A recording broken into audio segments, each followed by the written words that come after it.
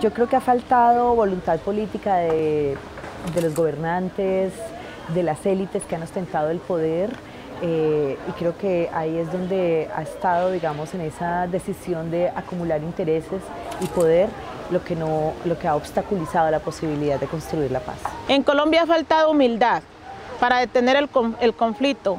En Colombia ha faltado amor. En Colombia ha faltado inclusión.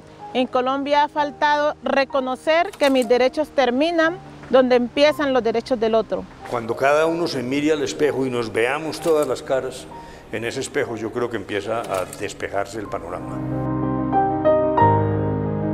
Nominalmente todos los colombianos somos responsables de lo que pasa en el Estado colombiano, pero la, la mayor responsabilidad le cae a aquellos que tienen la capacidad de dirigir el país, bien sea empresarios, políticos, dirigentes, pueden ser inclusive sector religiosos. Yo pienso que el sector privado, empresas eh, de mucho dinero, que tenían muchos intereses en el narcotráfico, también estuvieron muy interesados en que el conflicto continuara. Quienes han financiado el conflicto, eh, pero también creo que la sociedad en general ha permitido y ha legitimado muchas violencias de las que poco hemos hablado, por ejemplo el aniquilamiento social, la limpieza social, eso es algo que, que de lo que también nos tenemos que hacer responsables como sociedad.